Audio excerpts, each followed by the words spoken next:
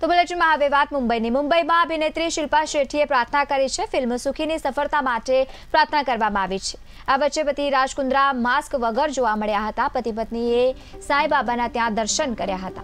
મહત્વપૂર્ણ છે કે પોતાની ફિલ્મની સફળતા માટે અને તેઓએ પ્રાર્થના કરી છે. મુંબઈ ખાતે જોવા મળ્યા હતા. પતિ રાજકુંદ્રા માસ્ક વગર જોવા મળ્યા હતા.